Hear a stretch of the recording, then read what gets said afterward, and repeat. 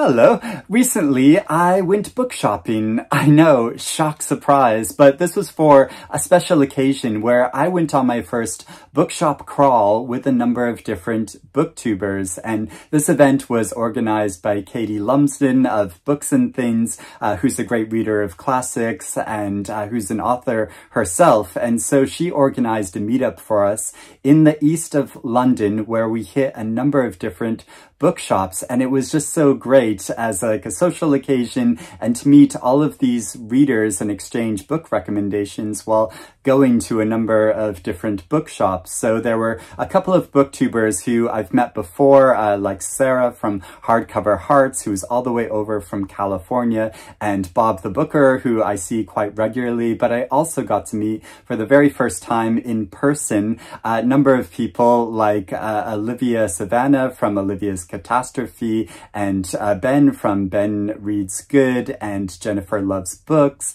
and Ross from Scally Dandelion, uh, about the books and uh, Charlie and uh, Alice and Gemma who are currently doing the plot-along um, for the, the Women's Prize. So it was a really great uh, event and just so lovely to, to meet all these people. And uh, they recommended to me um, some books, which I'm going to talk about and show off here and talk about why I'm so interested in reading them. And there are some other books here as well that publishers has kindly sent me. So I have a real interesting mixture of fiction and nonfiction and poetry, so I'll just dive into it. First, there's a really short novel that I've been meaning to get a copy of for ages, and so I was glad to finally have the opportunity to buy Orbital by Samantha Harvey, which follows a number of different astronauts as they uh, are on a craft circling around Earth and their observations of the planet and their interactions with each other and reflections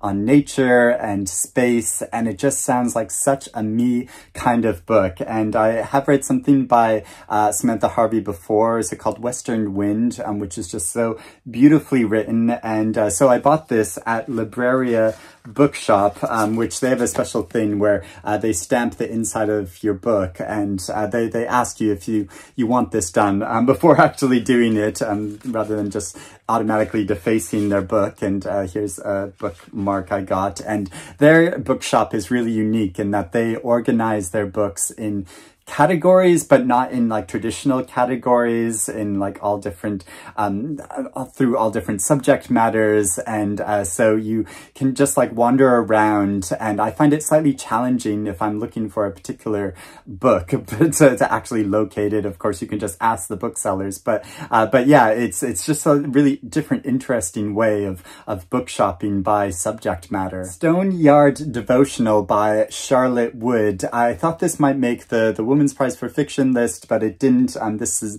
an Australian uh, novel uh, about uh, a woman who is not religious, but who uh, is going through some difficulties in her life, and she leaves uh, everything about her life behind of her work and her relationships and her family to go live in a religious community, and it's about her time there. It's meant to be a very contemplative um, story. There are a number of like mysteries it, it follows as well, but I think it's it's much more uh, kind of like like thoughtful story, you know, rather than a plot-driven one. Martyr! Exclamation mark by Kaveh Akbar. A lot of people have been discussing this novel, and especially um, Sarah, um, who recommended it strongly to me and said that she highly expects it to see it be nominated for some awards this year. It's uh, a novel about a young orphaned man who's um, the, the son of Iranian immigrants. Uh, it's set between New York and Tehran as he goes on a journey to discover the story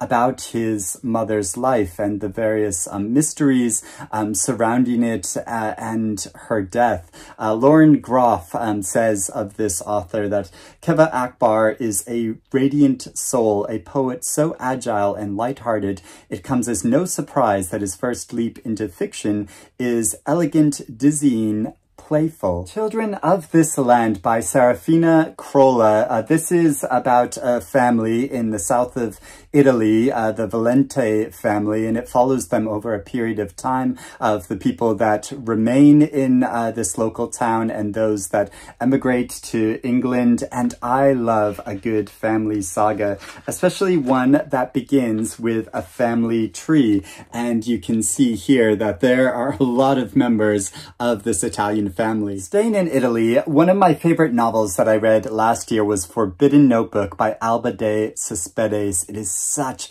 a good and involving story. I'm um, so multi-layered and it's just come out in the UK in paperback form. So I'd highly encourage anyone to read this, but there's also her brand new translated novel. I mean, this was first published years ago, but it's only just been translated into English called Her Side of the Story. And this edition comes with an afterword uh, by Elena Ferrante. And this is the story of an Italian woman in the 1930s who's um, raised uh, by sort of conservative parents and raised um, to, to marry a certain man, but she rebels against that. She wants to carve her own path out in the, the world. Um, she, she meets a professor who she has a romantic relationship with, and she tries to establish her own life for herself. And it sounds so good uh, and quite epic, and I can't wait to read this. A new collection of short stories is Ghost Pains by Jessi Jezewska Stevens, and this is about a number of young women in America um, who make disastrous uh, decisions uh, in their lives, uh, but it's also about ethics and trying to uh, reconcile a, a, sense of history in the, the present time. So it's very much about modern uh, lives and a new generation. Another one of my favorite novels that I read last year was Mrs. S by K Patrick. And this is their first collection of poetry called Three Births, uh, which is about erotics and the environment. Um, so it explores the landscapes and uh, interpersonal relationships and the changing of the seasons. Um, there's a number of different poems uh, about uh, different uh, seasons, and I just love the way that they write. Then I have a couple of new nonfiction books. Uh, first, there's a collection of coming out stories uh, called Countless Sleepless Nights, which is organized by Carina Maggar. And this is a number of stories of uh, people coming out um, from the comic to the more poignant to the unusual. And I think I'm going to find this uh, a very touching and moving collection. Then there's a book of untold recent history called Revolutionary Acts by Jason Okundaye, and this is looking at the lives of black gay men in Britain in the 70s, 80s, and 90s, where the author conducted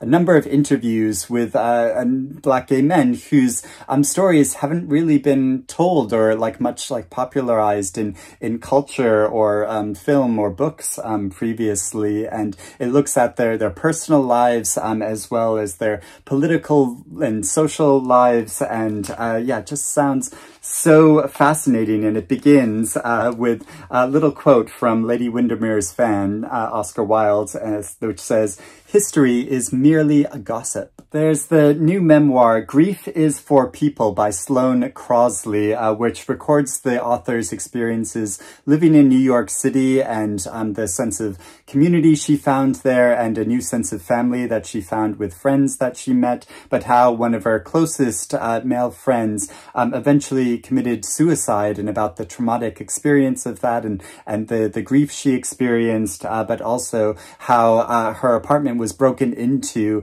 and uh, the sense of violation uh, in her life. So she writes about um, these experiences in a really moving sounding way. And uh, the author Tara Westover um, says this is heartbreaking and wholly original. And finally, there's the collection, again, I Hear These Waters, which is a group of songs and poetry that's newly translated from a number of people in the Miya community in the northeast of India. Uh, this is a group who are descended from Bengali Muslims, and their work isn't often heard um, outside uh, their region because um, it's in a language that's not officially recognized by the the, country. Um, so a lot of it deals um, with their specific heritage and history, but also with universal subject matter. So these are all of the new books that I got recently. A lot of reading to get stuck into, and I'm looking forward to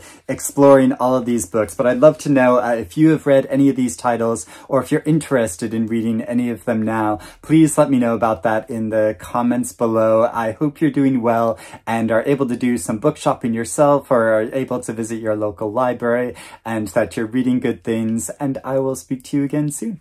Bye-bye.